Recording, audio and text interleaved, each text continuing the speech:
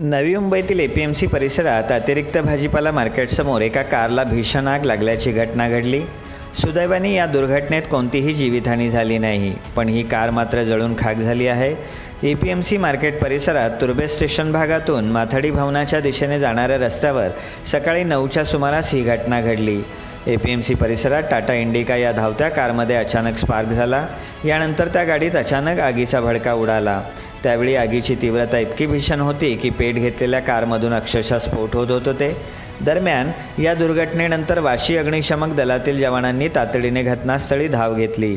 त्यानंतर तात्काळ आग विझवण्याचा प्रयत्न केला. सुदैवाने या दुर्घटनेत कोणतीही जीवितहानी झालेली नाही. मात्र ही कार पूर्णतः जळून खाक झाली आहे. तर या दुर्घटनेमुळे तुर्भे रेल्वे स्थानक ते माथाडी भवन रस्त्यावर काही काळ वाहतूक कोंडी झाली होती. Bureau report A P M C news. ताज्या घडामोडी पाहण्यासाठी एपीएमसी न्यूजला सबस्क्राईब करा आणि बेल आयकॉनवर प्रेस करा.